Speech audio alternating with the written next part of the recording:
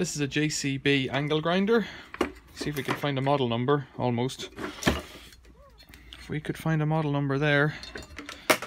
JCB AG 2200 I'm guessing, and it's a 2200 watt grinder, so it's one that I found, and I want to do a bit of a post-mortem on it, because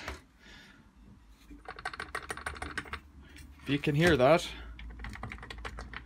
the bearings are kaput. I don't know if it's the bearings or if it's... So this thing should should come off. The handle should come off. Let's get that off as well.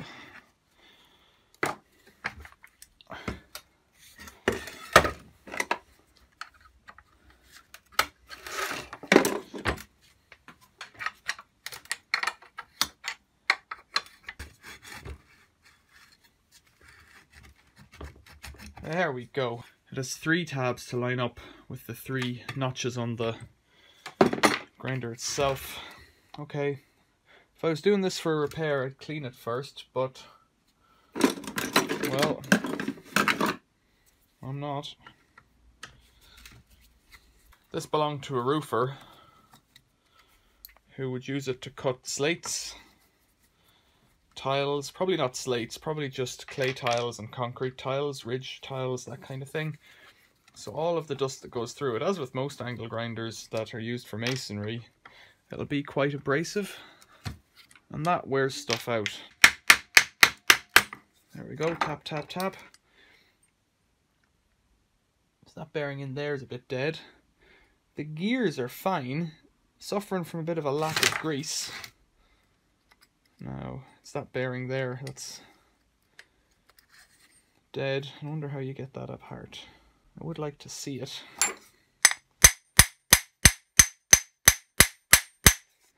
Hitting it doesn't seem to work.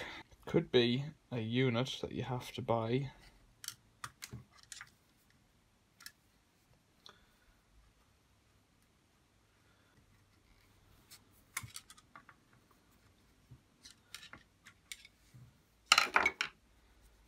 This little bearing has just jumped out. The motor armature feels okay, the bearing in there feels okay. This is a 6000Z bearing. It's dead. It's smooth, but it's loose. But it's whatever's in here. Now how would we get that apart? It does look like it just has some kind of a rubber ring on there.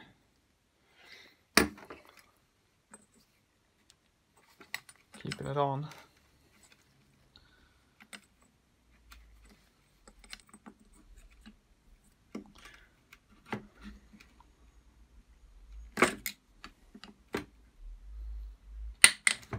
We go. Sounds like something's moving.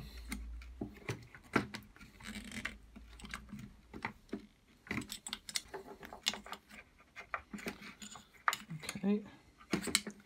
This is one of those things that I'm going to wonder. It might be worth fixing given that the motor seems okay. It's a steel ring there.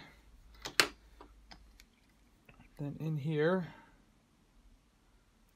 we've got a bearing.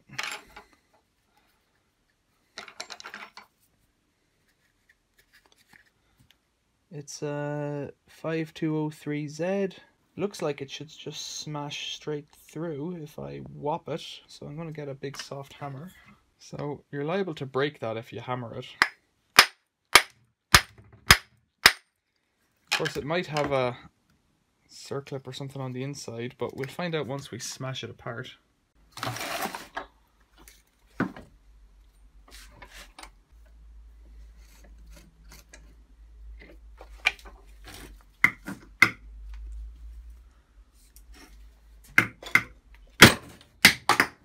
jumped straight up again.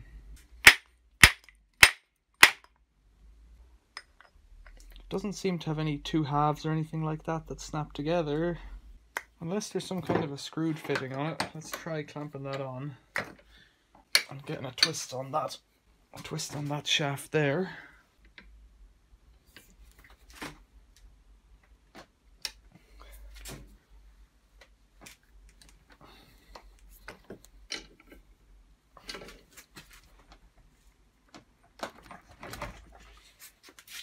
Everything on the bench is moving. Let's try the little Tappy tappy.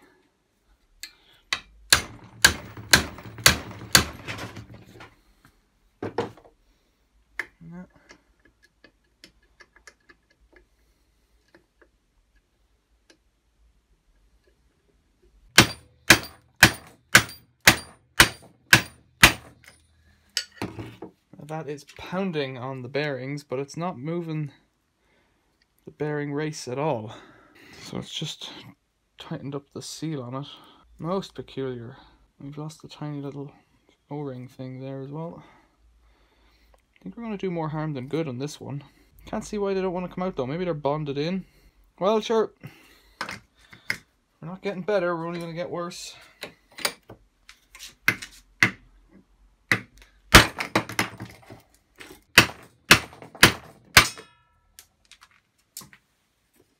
Something shot off there. Another little bit of plastic.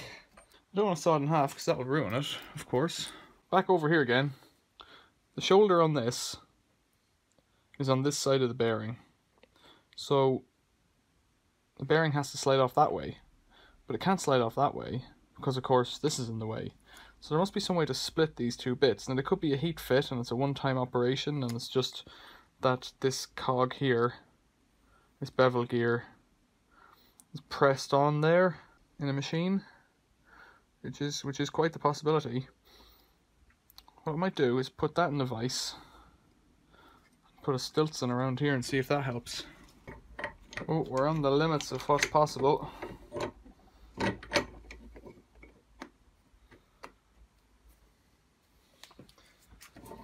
Okay.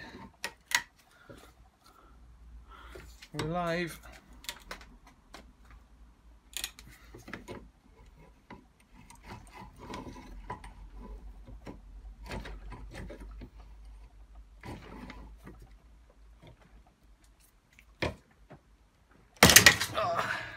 Gonna come. Well, we've tried nothing and we're all out of ideas. Apart from chipping the teeth there, we haven't done very much. I could just chop in half with the saw.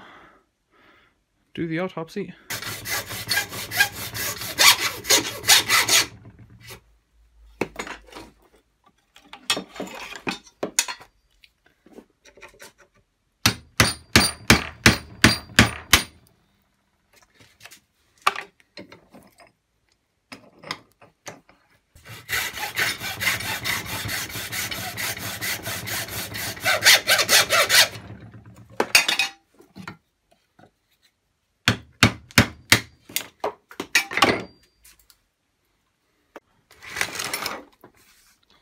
Back over here, that's how it comes apart. So,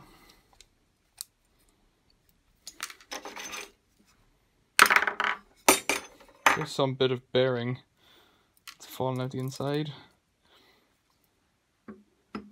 That bearing looks to be molded into the plastic.